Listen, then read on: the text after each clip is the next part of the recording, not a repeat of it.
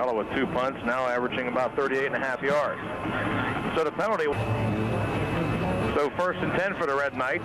Swearingen split right side, Alvis to the left. Backs are split on first down. They'll pitch out to Walker, Walker's met the backfield by Jason Morelli, and Duke Ford comes in and finishes him off. And you look at the field position Toronto has had. They're on 15, they're 27, and now they're 13.